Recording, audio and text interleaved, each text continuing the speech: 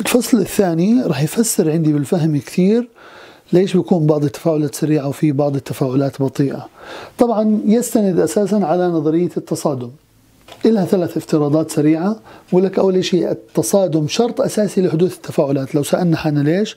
لأنه عندي التفاعل فيه تكسير روابط وبناء روابط جديدة. فبفترض إذا صار في تصادم بين جزيئات المواد المتفاعلة راح تعمل على تكسير وبناء. فلذلك تكسير وبناء يعتمد على فكرة التصادم. فهو الشرط الأول تصادم شرط أساسي لحدوث التفاعل.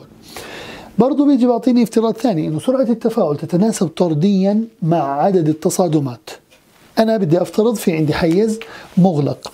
حيز مغلق إذا افترضت أنا إنه هاي الجزيئة رح تضلها مكانها وهاي الجزيئة الثانية رح تضلها مكانها. عندي التفاعل A زائد B بده يعطيني C. إذا كانت هاي A وهاي B إمتى راح أفترض إذا كل واحد ضل بمكانه راح يلتقوا مع بعض في نقطة معينة عشان يعطوني سي؟ إذا ضل كل واحد في مكانه أعتقد إنه ما راح يوصل لمرحلة يلتقوا ويعطوني C. بينما إذا كانت هاي في حركة دائمة الحركة الدائمة تصطدم في الجدران في كل شيء. نحكي لها الحركة البراونية Brownian motion اللي هي بتعمل زجزاج في كل مكان.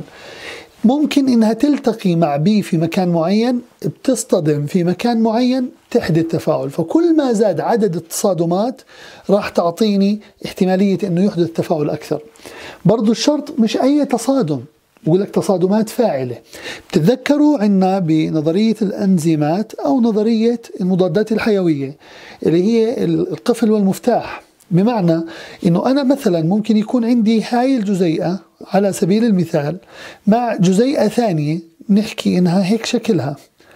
أنا ما بستنى انه يكون هذا التصادم جانبي أو مثلا ظهر بظهر. أنا مستني اتجاه معين من التصادم اللي يشكل لي التصادم الفعال اللي أنا بدي إياه اللي يكون المواد. فلذلك اتجاه التصادم مهم جدا. ما بيلزمني جنب بجنب ما بيلزمني مقدمة مع مقدمة. أنا اللي بيلزمني زي القفل والمفتاح على أساس أنه يكون عندي. اتجاه التصادم مهم جدا. إشي ثاني طاقة التنشيط. شو كانت طاقة التنشيط؟ إحنا بنحكي كسر روابط وبناء روابط جديدة. معنى ذلك أنا بيلزمني مقدار معلوم من الطاقة اللي هو الحد الأدنى من الطاقة لازم توافره. في هاي التصادمات عشان يحدث لي كسر للروابط القديمة وتكوين أنا برفع طاقة المحتوى هذا الموجود عندي هون برفع طاقته لغاية ما أنه تمتلك طاقة كافية لتكوين المواد الجديدة. وبالتالي أنه نوصل لمرحلة النواتج. هذا بيزيد برضو كمان من سرعة التفاعل. هاي اسمها نظرية التصادم. شو علاقة طاقة التنشيط بالمحتوى الحراري للتفاعل؟ أنا بتذكر بالعاشر كنا نأخذ موضوع طارد ومصل الطاقة وفي ناس كانوا يحفظوا الموضوع شبه حفظ إنه هذا الشكل إذا كان أعلى أدنى هذا طارد وهذا ماص. بفترض أنا عجقت في الامتحان وما بدي أحفظ حفظ. بروح على مستوى الديكارتي بقول قسمها أعطيها طبعا بتعرفوا إنه هذا الطاقة وهذا الزمن. أعطيها التدرجات تبعت المستوى الديكارتي احكي إنه هاي صفر هاي واحد هاي اثنين هاي ثلاث هاي أربعة هاي خمسة مثلا نفس الشيء هون بحكي هاي صفر هاي واحد هاي اثنين هاي ثلاث هاي أربعة خمسة ستة ما إلى ذلك. لاحظ عندي أنه أعلى نقطة في المنحين الحنيين هي طاقة التنشيط. أعلى نقطة. ليش إحنا بنحكي؟ إنه لازم نضلنا نشحن بالتفاعل نشحن بالتفاعل لغاية نوصل طاقة التنشيط. بعد ما نوصل طاقة التنشيط ينتج عندي النواتج. في لحظة طاقة التنشيط عندي المتفاعلات بغض النظر شو كانت. المتفاعلات ممكن تكون A زائد B في كلا الحالتين. متفاعلات A زائد B بدهم يكونوا وصلوا لمرحلة من التصادمات إلى إنهم يندمجوا مع بعض بروابط معينة. A B يكون لي شيء اسمه المعقد النشط. A B المعقد النشط. طبعا معقد النشط هي حالة انتقالية لما بتتجمع كل المتفاعلات مع بعض للحظة معينة بعديها لما بتتجمع طبعا بروابط معينة تفكك هاي الروابط بيعطيني النواتج اللي هي C زائد D في كلا التفاعلين. بعطيني إياها بس بعد ما نوصل إلى قمة الهرم اللي هي المعقد النشط عند طاقة التنشيط. بعد كثرة التصادمات بتكون عندي المعقد النشط اللي هو كل المتفاعلات داخله في بعض. بعد هيك بتبلش مسألة الاستقرار والطاقة. بيعيد المعقد النشط تكوين المواد بشكل هو يرغبه بيعيد ترتيب الذرات بشكل هو يرغبه إلى حد ما إنه إحنا نوصل لمرحلة إنه وصلنا النواتج اللي إحنا بدنا إياها، هسه بدنا نعرف شو علاقة طاقة التنشيط بالمحتوى الحراري، لاحظ عندي أنا باجي بقول إنه طبعا أكيد بتعرف إنه هاي المتفاعلات بتضلها ماشية وبترتفع فيها التصادمات والطاقة لغاية ما توصل إلى النقطة في أعلاها. هاي النقطة اسمها هاي المسافة اللي إحنا مشيناها هاي طاقة الاتجاه الأمامي. اللي هي الطاقة اللي بتلزم ترتفع من المتفاعلات لغاية ما توصل إلى القمة من التصادمات. هاي طاقة الاتجاه الأمامي. ولاحظ بالاتجاه العكسي من هون بتوصل إلى القمة في طاقة الاتجاه العكسي. هسه أنا بدي أعرف مين فيهم آه، طارد ومين فيهم ماس وشو علاقة المحتوى الحراري. قلنا بالعودة إلى التدريج اللي إحنا عملناه نعرف إنه دائما طاقة التفاعل أو طاقة أي شيء إذا بدنا نأخذها بمعدل هي النهاية الحالة النهائية ناقص الحالة الابتدائية. وبدنا نعرف إحنا دائما الحالة النهائية في التفاعلات هي المتفاعلات. على أي مستوى كانت المتفاعلات في هذا الشكل مثلا؟ اعملها بهذا الشكل بدها تطلع تقريبا على واحد. هي واحد. ناقص. شوف لي النواتج لأنه هي البداية دائما. كانت على اثنين. لاحظ عندي واحد ناقص اثنين هي ناقص واحد. إذا هذا الشكل لما بتكون في النواتج أقل مستوى من المتفاعلات. هذا كان اسمه طارد بدلالة أنه ناقص. طارد للطاقة تحصيل حاصل هذا هذا كان ماس لأنه موجب بدنا نتأكد منه. لاحظ أنه الحالة النهائية كانت تقريبا نحكي ثلاثة ونص. الحالة النهائية كانت ثلاثة ونص. الحالة الابتدائية على اثنين. على اثنين. إذا هي ثلاثة ونص ناقص اثنين. هي موجب واحد ونص. موجب هذا معناه ماس للطاقة. هسا حاليا عرفنا مين فيهم الطارد وعرفنا فيهم مين فيهم الماس وعرفنا إنه المسافة من النواتج لغاية المعقد النشط أو طاقة التنشيط اسمها طاقة الاتجاه الأمامي والمسافة ما بين النواتج إلى القمة يعني متفاعلات مع القمة هذا في الاتجاه الأمامي طاقة التنشيط في الاتجاه الأمامي.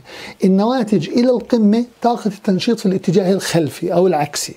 لاحظ معي بشكل معين. لاحظ أنه كل ما ارتفعت طاقة التنشيط الزمنا طاقة أكثر. يعني لاحظ هاي كل ما ارتفعت لزمتنا طاقة أكثر. الطاقة أكثر هاي من وين بدنا نحصلها؟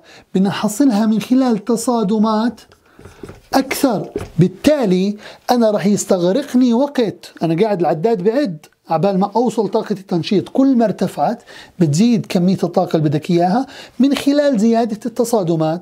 إذا الزمن برضو كمان أكثر. لما بدي أحكي عن سرعة تفاعل بينما لو كانت طاقة التنشيط هاي قليلة يعني بدي أفترض أنا هذا الشكل افترض معي. إنه طاقة التنشيط موجودة معي هون لاحظ مجرد ما إنها ترتفع المتفاعلات راح توصل إلى الإي إي طاقة التنشيط وتنخفض لاحظ معي هذا الشكل. ما استغرقني الوقت اللازم أنه يوصل الشكل الطبيعي. فلذلك إذا قدرنا نتحكم بطاقة التنشيط نرفعها وننزلها معناها إحنا قاعدين نتحكم في سرعة التفاعل.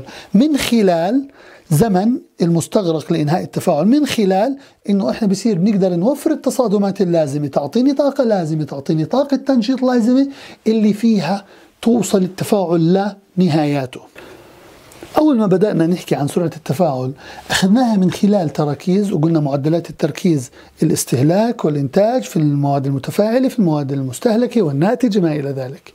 كانت دلالة قوية جدا على سرعة التفاعل. هون عندي النظرية نظرية التصادم أو العوامل المؤثرة في سرعة التفاعل. بقول لك كل ما زاد التركيز يعني زادت كمية المواد زي كانوا أنا بحكي مثلا في عندي هذا الدورق هذا الدورق يحتوي على هذول الجزيئتين ومطلوب منهم يلتقوا وإذا التقوا بدهم يتفاعلوا. طبعا بيلتقوا من خلال الحركة المستمرة. عندي حركة كثير حركة عالية. هاي الحركة راح تؤدي في لحظة إذا التقوا تصادم. هذا التصادم إذا وصل إنه صار التصادم عالي ويمتلك طاقة ببلش عندي التفاعل لاحظ أنا لما يكون عندي جزيئتين احتمالية معينة إنهم يلتقوا. طب ما بالك لو صار أربعة لو صاروا خمسة لو صاروا ثمانية لو صاروا تسعة لو عشرة؟ كل ما زادت كمية الجزيئات بزيد احتمالية التصادمات وبزيد فيهم التصادمات الفاعلة. كل ما زادت الكميات ويأتي ذلك بالنتيجة أنه بزيد عندي سرعة التفاعلات. فلذلك كنا بنحكي أنه السرعة أعلى ما يمكن عندي تركيز في أعلى ما يمكن. ليش؟ لأنها أكثر كميات أكثر حركة أكثر تصادمات أكثر تصادمات فاعلة وبالتالي هي أكثر سرعة. هذا كان العامل الأول. العامل الثاني على حسب طبيعة المادة. في بعض المواد مثلا كنا بنحكي عن النشاط الكيميائي بالفلزات ولا فلزات. في مواد بطبعها مش نشيط بطبعها خامل. والله قلت لي الكمية كثيرة الكمية قليلة. البلاتين مثلا شو بده يخليه يتفاعل؟ ما هو خامل العناصر الغازات النبيلة شو بتخليها تتفاعل ما هي خاملة فلذلك طبيعة المادة إلها أثر في سرعة التفاعل برضو كمان لما بقول مثلا سائل أو صلب أو غاز مين فيهم في أكثر حركة؟ لما أنا بدي أقول بدي حركة. لما بفترض أنا أنه عندي صلب الصلب الحركة موضوعية. فلذلك هاي المواد الصلبة إمتى إن شاء الله بدها تتحرر؟ وإمتى بدها تنتقل إلى موقع ألف أو باء عشان توصل للمتفاعل الثاني عشان تصطدم فيه؟ لاحظ المواد الصلبة راح تغلبني. بينما السائل أكثر ليونة في الحركة أكثر خفة في الحركة والأفضل منهم كلهم في سرعة الحركة اللي هي الغازات. الغازات في حركة دائمة في حركة تصادمية مع الجدران مع نفس الجزيئات مع الجزيئات الأخرى دائمة. فلذلك طبيعة المادة تؤثر كمان في موضوع سرعة التفاعل. مساحة السطح. بدي أفترض أنا في عندي عندي حالتين. عندي حالة مثلا بدي أحط أنا واحد جرام من مادة معينة وهذا الواحد جرام كان متكتل. أنا حاط هاي الواحد جرام ولاحظ معي متكتل على بعضه. هاي الجزيئات كلها جاي في كل الاتجاهات فوق بعضها أو بدي أحطها من خلال طاحنهم وعملها powder لاحظ هذا الشكل. هسه حاليا هاي مغمورة بمادة ثانية بدها تتفاعل معها. بدي افترض أنا أيهما أسرع في التفاعل؟ انه كل جزيئة من المادة هاي اللي نفترض انها مي على سبيل المثال. هون بدها تتفاعل مع هاي الجزيئات بشكل مفرد حر بهذا الشكل. بينما إذا افترضنا إنها كانت هاي المادة متكتلة هاي المادة معناها إنه المي بالدرجة الأولى راح تضطر إنها تتفاعل مع الطبقة الأولى الخارجية. وتصبر لغاية ما نقدر إنه نتخلص من الطبقة الأولى. هسا لما تخلصنا من الطبقة الأولى تفاعلنا معها راح تيجي المي بمرحلة ثانية تتفاعل مع الطبقة الداخلية. بعد ما نشيلها راح تيجي المي وتتفاعل مع الطبقة الداخلية أكثر. يعني هذا تفاعل مرحلي. مين فيهم المساحة السطحية في أكثر؟ في حالة powder أو مسحوق. هذا المسحوق مساحته السطحية أكثر. وهذا المادة المتكتلة هاي المساحة السطحية فيها ضيقة جدا. فلذلك أيهما كان أسرع؟ أنه تتفاعل كل جزيئة مي مع كل جزيئة لحالها براحتها ولا بدنا نقعد نشيل طبقات؟ لاحظ عندي. المساحة السطحية كل ما زادت راح تزيد سرعة التفاعل. رابع هاي العوامل هي الحرارة. الحرارة عندي برضو كمان إلها أثر مباشر في حركة الجزيئات. إذا زادت الحرارة بتزيد الحركة. أنا لما بكون بردان بالشتاء بقول لك قوم نط اتحرك. ليش؟ لأنه إذا زادت الحركة زادت الحرارة. والعكس بالعكس إذا زادت الحرارة بتزيد الحركة. لما تكون درجة الحرارة ناقص خمسة أنا دوبي قادر أقوم أنا قادر أتحرك. بينما لما تكون درجة الحرارة 25 أنا بتحرك بكل أريحية. بروح وباجي وبتحرك. ومن هالكلام. فلذلك لما بتكون الحرارة عالية أو بنزيد الحرارة بنزيد الحركة. إذا زدنا الحركة زدنا احتماليات التصادم والتصادم الفاعل. إذا زدنا احتماليات التصادمات الفاعلة معناها إحنا زدنا سرعة التفاعل. آخر شيء على الإطلاق بنحكي عن العوامل المساعدة والعوامل المساعدة يا جماعة وسط إحنا بنعرف إنها مواد زي الإنزيمات هاي المواد تدخل في التفاعل ولكنها لا تستهلك وبتعمل على مسارعة التفاعلات. كيف يعني؟ يعني إحنا زي ما حكينا على سبيل المثال إنه في عندي مادة شكلها هاي الجزيئة A وهاي الجزيئة B وبدي أستناهم بأريحيتهم.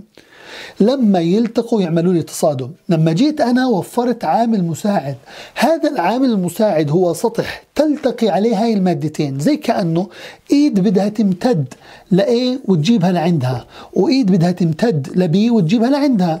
يعني زي كأنه أنا ما بدي أترككم لراحتهم وخليكم 17 سنة لما تلتقوا تتصادموا. لا أنا وفرت وسط.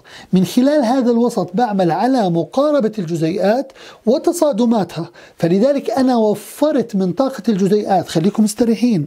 أنا بدخل لكم وسيط هو اللي بيعمل على تقريبكم من بعض. في هاي الحالة لما أنا بشغل هذا الإنزيم معناها نفس الأثر اللي حكيناه لما بنخفض طاقة التنشيط. أنا مش محتاج أوصل لغاية الماكسيمم للقمة. في هاي الحالة أنا قاربت الجزيئات وقللت الطاقة المستهلكة. فلذلك سرعة التفاعل في هاي الحالة بتكون أكبر أضعاف مضاعفة لما أنا بوفر الإنزيم.